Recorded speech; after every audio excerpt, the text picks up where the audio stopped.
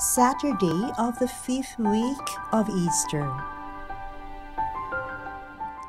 Jesus said to his disciples, Remember the word I spoke to you. No slave is greater than his master.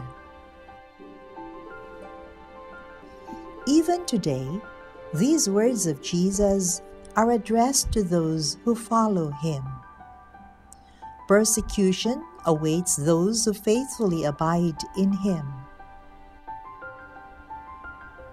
Let us stand firm to live and uphold our Christian faith despite contradictions, trials, and difficulties. Believe that God refines and strengthens our faith, hope, and love through this present storm.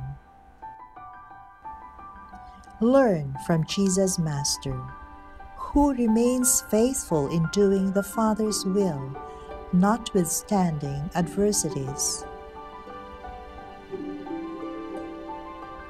Let us pray. Father, Son, and Holy Spirit, we praise and thank you for accompanying us in this life's journey.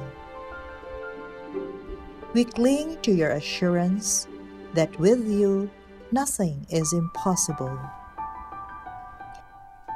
Help us to walk humbly with you and ever trustful in your abiding presence always.